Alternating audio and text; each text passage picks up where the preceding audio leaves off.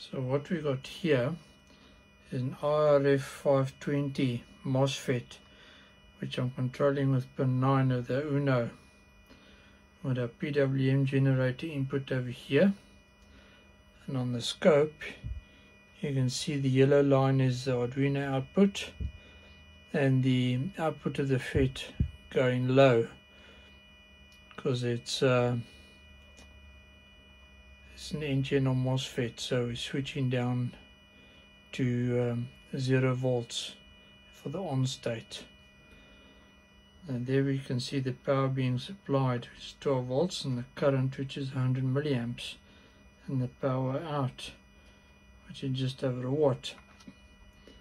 So as I turn it up over here you can see the pulse width increasing and over there in this region that's the back EMF for the motor that we see in there and there you can see the motor has increased in speed so that's our little PWM DC motor control set up over here.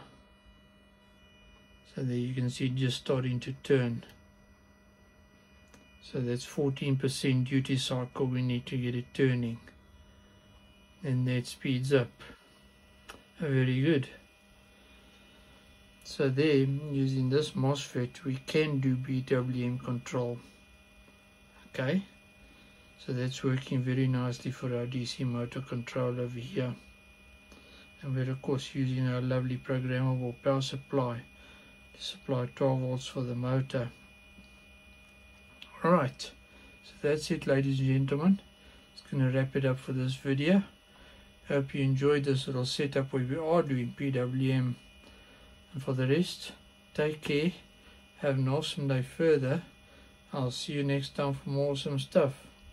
Alrighty, bye.